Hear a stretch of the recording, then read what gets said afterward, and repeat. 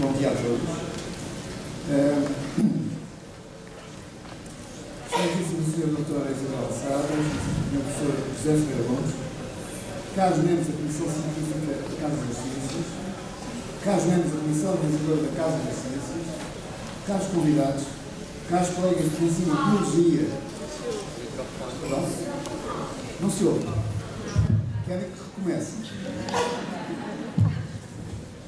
Mais perto. A partir de quando é que deixaram de ouvir? Muito bem, então eu vou começar.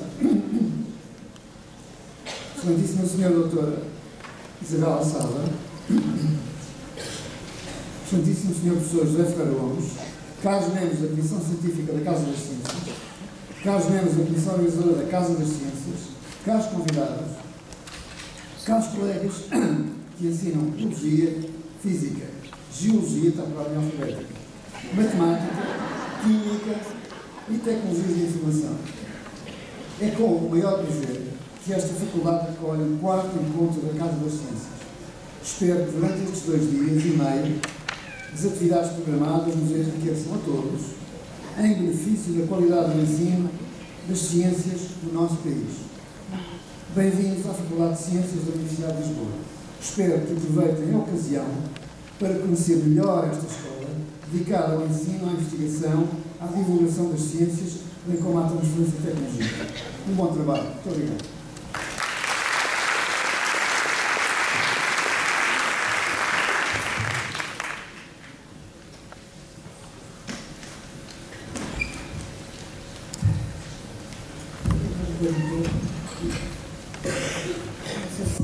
Assim ouve-se. Eu queria saudar o nosso diretor que nos acolhe aqui, o diretor da Faculdade de Ciências da Universidade de Lisboa. Queria saudar uh, o professor Ferreira Gomes e todos os organizadores deste encontro da Casa das Ciências e da Casa das Ciências. Uh, como sabem, a Casa das Ciências vai estar ligada, associada ao EduLog. Mas não sei se todos sabem exatamente o que é o EduLog. Eu não sei se. Não se importa de pôr o PowerPoint que eu te. Aí. Portanto, não sei se todos sabem o que é o EduLog. O EduLog é um, um projeto, uma task force da uh, Fundação Belmiro de Azevedo. Quem é que aqui sabe o que é o EduLog? Por favor, ponha o braço no ar para eu ver. Duas pessoas. Estão a ver? Temos aqui um encontro com uh, quase uh, 700 e tal pessoas presentes, duas sabem, portanto o meu papel aqui vai ser facilitado, estou a falar para, com alguma utilidade. Uh, portanto, queria apresentar-vos aqui quais são as, as, missões, a missão, a função do EduLog na nossa sociedade. Portanto, é, é realmente uma, um projeto recente, não, não está a aparecer. Fica mais fácil com o.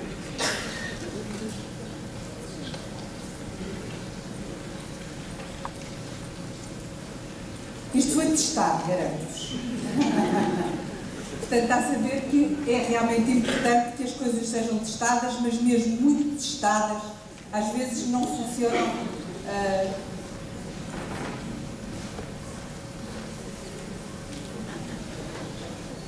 Não, mas não está aqui. Eu quero acompanhar. Quer ver aqui?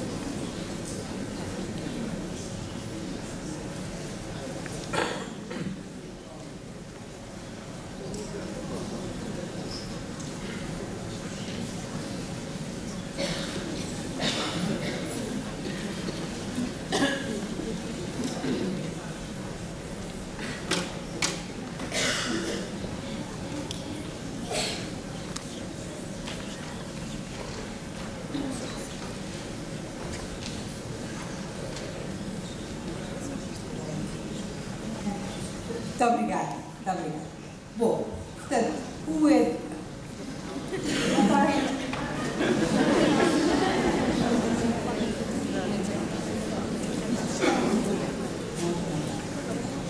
Bom, portanto, temos aqui os participantes da, do, desta Task Force da, do EduLog, é um conselho consultivo, o, que é presidido pelo professor Alberto Amaral e uh, do qual fazem parte o engenheiro Belmiro de Azevedo. Isto é uma iniciativa do engenheiro Belmiro de Azevedo, porque ele dá imensa importância ao, à educação e quer que a Fundação Belmiro de Azevedo contribua para a, funda, para a educação.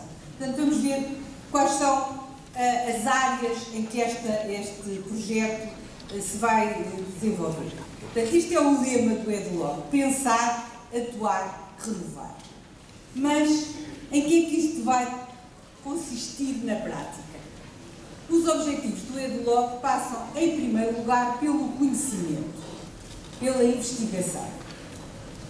Uh, podem pensar a investigação sobre educação, nós temos muita investigação no mundo e temos a investigação acessível à distância de um clique. Nós, se formos pesquisar sobre a nossa área específica de, de interesse, há dezenas, centenas de artigos que podemos consultar uh, e que podem ajudar a que o nosso trabalho se faça ouvir. Tanto aqueles que trabalham especificamente no plano eh, pedagógico com alunos, portanto os professores diretamente, como os diretores, como os que uh, organizam projetos e lançam projetos na área da educação, como os investigadores e os políticos igualmente. Há muita investigação que permite uh, orientar, situar, uh, ajudar quem trabalha nas diferentes áreas a refletir. Mas será que nós encontramos facilmente aquilo que precisamos? Dada a diversidade de investigação que está à nossa disposição. E será que nós conseguimos avaliar aquilo que está à nossa disposição? Por exemplo, uma pessoa que trabalha na sala de aula e quer ter a informação nítida de quais são os fatores que mais contribuem para o sucesso ou para o insucesso dos seus alunos. Como nós sabemos que há uma multiplicidade de fatores, desde uh, o ambiente que a criança provém, até à escola onde está, até às práticas da sala de aula, até à competência do professor, até à atitude dos pais, etc, etc. Estes fatores, ou esta ordem, estas várias ordens de fatores, como é que nós podemos pensar nelas de uma forma relativamente hierarquizada? Quais são aqueles que são mais determinantes? Será que o papel do professor é muitíssimo determinante do desenvolvimento uh, e da aprendizagem? E se uh, afirmarmos positivamente, dizemos sim senhor, o professor tem um impacto muito grande na aprendizagem dos alunos, qual é esse impacto? E o que no trabalho do professor, o que é que no trabalho do professor é mais determinante que o é que no trabalho do professor tem mais efeito na aprendizagem dos alunos?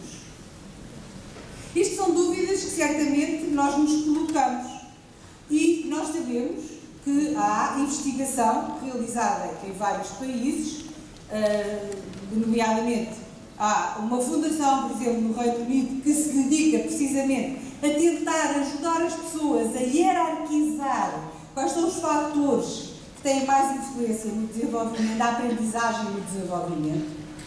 Há uh, investigadores que tentam fazer uma análise dos estudos que existem disponíveis sobre a aprendizagem, sobre os efeitos destas várias dimensões da aprendizagem e tentam ver em que medida que cada um tem o seu peso e que influencia realmente a aprendizagem das turmas, dos alunos, do conjunto dos alunos de um país. Nós podemos também pensar o que é, que é mais determinante no resultado educativo. A qualidade física das escolas? Será que a dimensão do espaço tem algum efeito? Será que o som das salas de aula, a forma como o som se propaga, tem algum uma, é, é determinante ou não é determinante? Será que a forma como a direção da escola é exercida, o estilo de direção, eh, tem algum efeito na, na aprendizagem que se realiza na escola? Portanto, eu estou-vos só a pôr questões para pensarem em potenciais respostas para as quais o EduLog quer contribuir. Portanto, o EduLog quer promover a investigação e o conhecimento porquê? Porque nós hoje sabemos, e são todas, aqui estamos é, entre é, docentes e investigadores na área das ciências, que nós hoje temos um, um, um capital científico enorme e precisamos que esse capital científico seja posto ao serviço da prática educativa. Tal e qual como deve ser posto ao serviço dos professores, também da decisão política. O que é que vale mais a pena investir? Na dimensão das turmas? Será que a dimensão das turmas tem um impacto muito importante? Ou será que é mais importante o currículo ou as modalidades de, avaliação? A que é que devemos dar prioridade quando queremos melhorar o sistema educativo? Isto é uma interrogação que, naturalmente, quem tem, uh, quem tem uh, poder político tem de se colocar. Não se pode mexer em todas as coisas de uma forma aleatória, sem saber quais são os efeitos. E sabem muito bem que muitas vezes alterações no sistema educativo realizadas com a melhor das intenções têm efeitos perversos que vão contrariar uh, o resultado pretendido. E em vez de contribuir para melhorar a aprendizagem e o resultado global do país, às vezes tem efeitos negativos porque são, são danos colaterais que não estão previstos. Ora, a investigação e o conhecimento permite precisamente ir mais longe neste domínio. Nós precisamos de ir buscar à ciência aquilo que apoia a reflexão e a decisão. E é isso que o EduLog quer fazer, que é analisar a investigação científica feita em Portugal e noutros países, especificamente nestas áreas, para apoiar o trabalho dos professores, o trabalho dos decisores, o trabalho dos gestores da educação, o trabalho dos políticos e ajudar a tornar mais clara esta rede de informação fantástica que existe detectar eventuais lacunas no nosso país em áreas que era preciso ir mais longe e investigar mais e depois tornar os resultados da investigação mais acessíveis. Para, para além disto, pretende naturalmente tornar, para tornar os resultados da investigação mais acessíveis, é preciso que a comunidade se mobilize, debata, reflita sobre. Não basta que eles existam e que estejam disponíveis, é preciso que as pessoas se envolvam e, portanto, ajudar ao planeamento estratégico e à criação de redes colaborativas. Bom, nós vemos, por exemplo, este, este slide, tem o sistema, a forma como tem resultados do, Euro, do Eurobarómetro relativamente recente, novembro de 2016, e vemos qual é a importância que a nossa comunidade, a sociedade portuguesa, atribui a preocupação que tem com a educação, comparativamente, tem aqui este gráfico, com as outras, com a média da União Europeia. No barómetro, naturalmente, podem ver os outros países.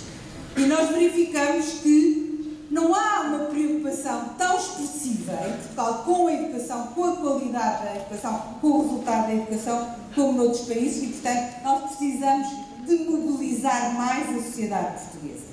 Portanto, os eixos de atuação do EDLOC são estes cinco: investigar, divulgar, recomendar, financiar e executar. E desenvolve em, em, quatro dimensões. O seu trabalho é desenvolvido em quatro dimensões.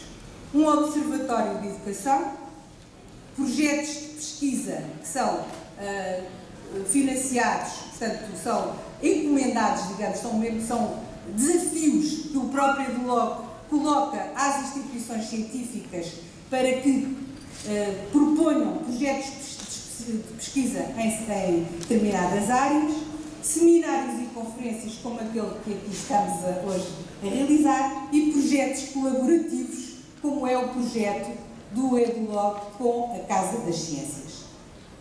O Observatório da Educação irá disponibilizar indicadores, está em desenvolvimento, estudos e pretende rigor e qualidade. Portanto, vai avaliar os estudos que apresenta, uh, uh, portanto, indicando qual é o grau de confiança que o estudo pode uh, assegurar.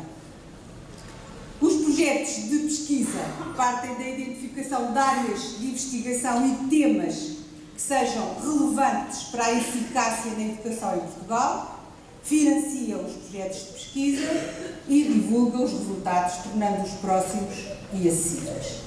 Este é um exemplo de um projeto de pesquisa que já foi concluído, que percepções têm os portugueses sobre o valor da educação, feito com um conjunto de instituições, investigadores, está aqui assim em, uh, o livro já está publicado. Está em curso projeto sobre precisamente o impacto do professor na aprendizagem do aluno. Nós sabemos que o professor tem um enorme impacto, hoje já está mais provado, enorme impacto, é um dos fatores mais relevantes, mas o que é no professor também? Qual é o comportamento do professor que tem mais impacto? Isto é uma interrogação que todos os professores se colocam. O que é que na minha ação é mais benéfico para os meus alunos? Bem, os estudos internacionais tendem a, a, a, considerar que é o feedback que o professor dá aos seus alunos. Na, na hierarquia de o feedback, o facto do aluno sentir, bem, agora não vou fazer uma conferência sobre isto, mas realmente esse fator é muito importante, mas há todo um conjunto de fatores e que vale a pena os professores olharem para, para os fatores para, para terem a noção do que é que vale a pena realmente investir e o que é que vale a pena, se calhar, uh, não, não dar atenção, muitas vezes há coisas que, é uma perda de tempo, as pessoas às vezes estão ocupadas em minudências que não levam a nada e não dão importância àquilo que é mais determinante da aprendizagem, que é o que todos os professores pretendem dos seus alunos. Um outro uh, estudo que está em curso é sobre gestão escolar, estilos de gestão, práticas de gestão, uh, gestão não só de, de, de, das instituições educativas, dos agrupamentos e das escolas, como também a gestão da própria sala de aula. Outro estudo é um estudo sobre o envolvimento dos educadores e das famílias no percurso escolar das crianças, estimulando a literacia através do uso do, do telemóvel, com mensagens de telemóvel. Uh, os seminários e conferências, já houve uma conferência no Porto, 25 e 26 de março, sobre o impacto do capital humano no desenvolvimento económico. Uh, Realizam-se EduTalks, portanto, debates sobre temas restritos, muito interativos e seminários para a apresentação de projetos de pesquisa, como foi o caso do seminário que se realizou em 13 de abril de 2016, que foi precisamente na mesma data em que o EduLoc foi pela primeira vez apresentado. Portanto, temos aqui uma fotografia das conferências. Uh, a plataforma Casa das Ciências. A plataforma Casa das Ciências foi proposta ao EduLoc como um projeto colaborativo e é um projeto realmente extraordinário no nosso país. Eu queria dar, felicitar todos os participantes na Casa das Ciências. Eh, sei, é um projeto muito participativo no sentido em que há uma interação enorme entre o utilizador e o, e aquele, e o produtor de recursos. Uh, todos os recursos são analisados por uma comissão científica. É de facto um projeto com enorme credibilidade e com uma participação realmente muito expressiva e é de facto com grande gosto que o EduLog uh, associa à Casa das Ciências e apoia financeiramente a Casa das Ciências para que ela se mantenha realmente um recurso tão importante para os professores, para os alunos, para os pais, para a comunidade e para realmente a divulgação da ciência, da ciência de forma a que todos possam ter acesso, tanto na sala de aula como fora da sala de aula. O portal vai ter outra cara, isto é o, é o portanto, o portal é do, do, da Casa das Ciências vai tentar estudo no outro portal. Nós vemos que a evolução do número de acessos à plataforma é muito expressiva, quase 10 milhões uh, de acessos a páginas e uma, um, um, um, um número de acessos uh, anualmente uh, realmente muito expressivo e também a participação nos encontros internacionais. Aqui a inscrição no último tinha sido 600, neste foi já 900, mais de 900 inscritos, portanto felicito-vos pela, uh, por este projeto que é realmente uh, muito importante para os nossos alunos, em primeiro lugar, para os docentes e para o nosso país. Muito obrigada.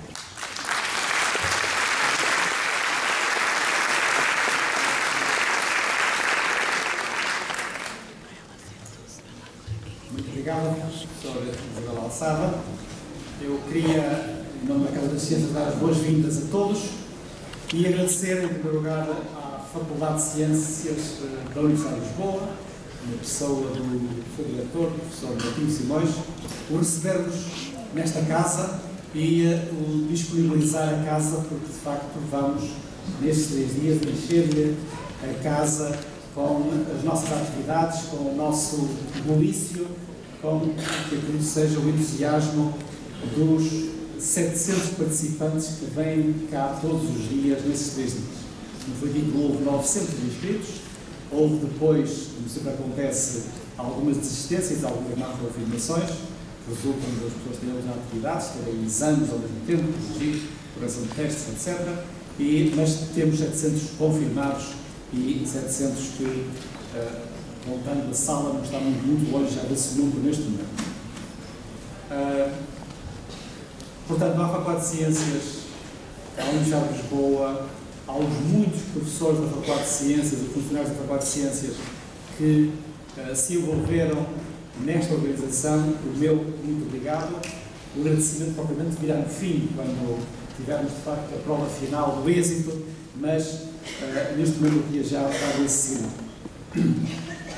À Fundação Calmiro de Azevedo e da pessoa da professora Isabel Alçada, ao EduOG, uh, naturalmente a Casa das Ciências tem de uh, dar uma palavra de reconhecimento e de uh, agradecimento pela confiança que a Fundação e o EduOG depositou na Casa das Ciências ao oferecer esta ligação esta ligação estável de colaboração, como foi dito pela professora Isabel Alçada, que uh, se tornou efetiva a partir do princípio deste ano e que esperemos, esperamos, estamos certos que vai manter-se por muitos e bons anos. Mas o agradecimento principal vai para todos os presentes e para todos os membros da Casa das Ciências. A Casa das Ciências conta com eh, a colaboração, a visita regular de cerca de metade dos professores de ciências do, da nossa escola.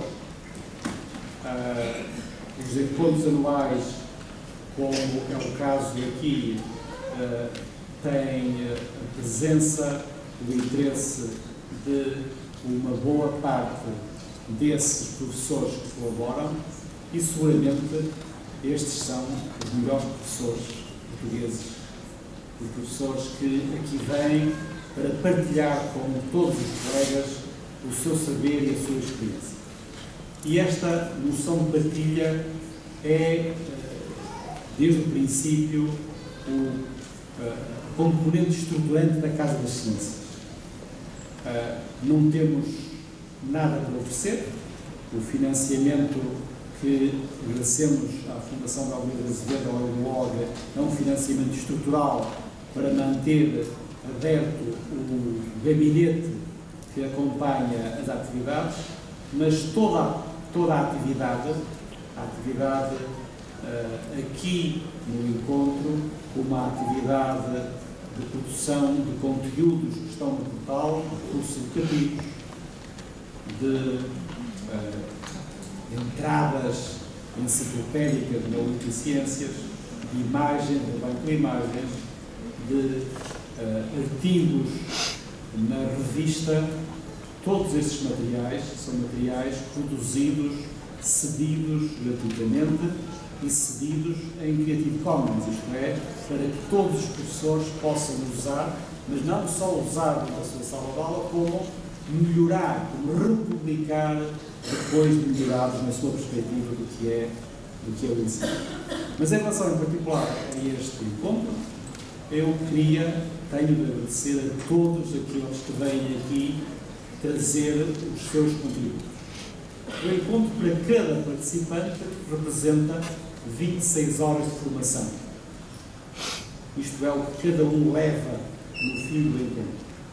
Mas o que está aqui em oferta são cerca de 3 mil horas de formação. Isto é, o que os professores contribuem para os seus colegas.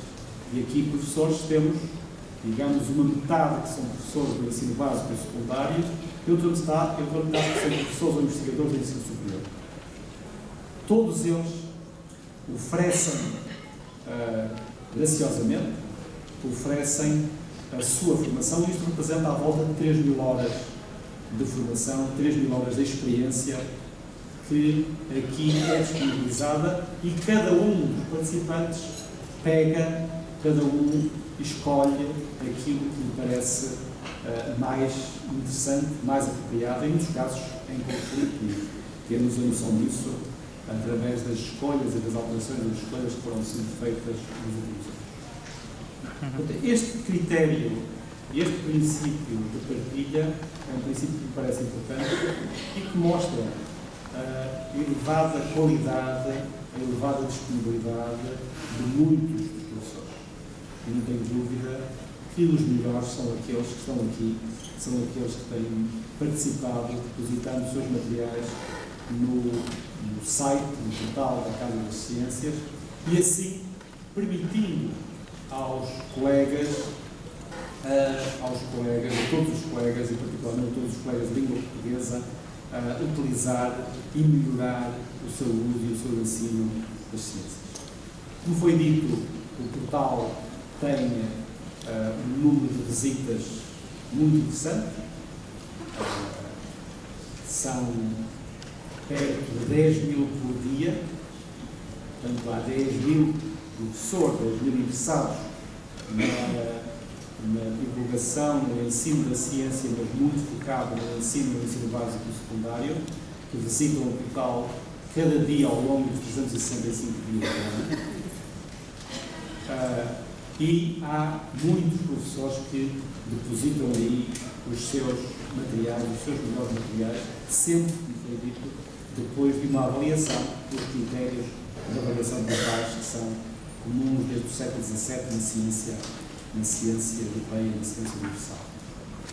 Uh, queria dar nota de uma nova experiência que eu espero que vamos conseguir manter, que é a revista e a revista em papel. A revista de ciência alimentar já um empreendimento antigo, existia digitalmente e que, a partir deste ano, foi passada para o papel. Folhas disponibilizada aqui aos participantes um exemplar, um último exemplar.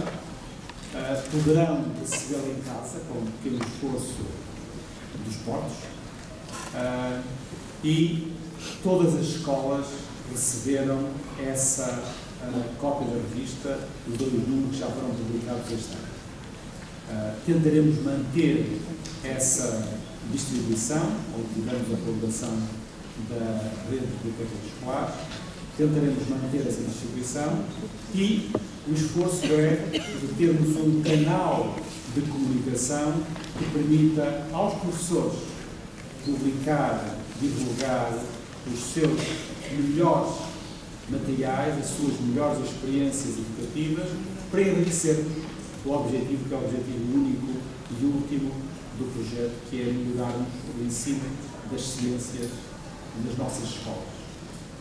Obviamente que melhoramos, queremos melhorar o ensino da ciência para que os nossos jovens, durante o percurso escolar, esse percurso formativo tão importante, possam uh, adquirir uma segurança, uma confiança na sua compreensão do mundo a que estão a chegar, como jovens, e, através disso, poderem vir a dar, mais tarde, um contributo pessoal, profissional, que os torna melhores cidadãos, que os torna homens e mulheres mais felizes e mais capazes de partilhar e de contribuir para o sucesso da sociedade.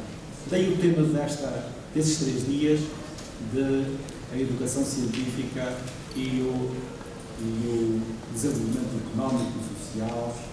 É este o tema geral, é, este, é esta a proposta que lhes fazemos, com um voto simples tenhamos todos três dias alegres, três dias felizes, três dias, três dias de partilha muito rica entre todos, entre todos os que são professores interessados numa disciplina, mas também entre todos os que são praticantes de uma com os praticantes de outras disciplinas, porque tudo isso é o agradecimento que nós precisamos para ajudar a agradecer e para tornar a nossa sociedade mais rica mais forte. Muito obrigado por terem vindo até cá, muito obrigado à Faculdade de Ciências, muito obrigado ao Weblog por nos permitir também estar aqui e ter estes três dias de alegria e três dias de enriquecimento pessoal. Muito obrigado.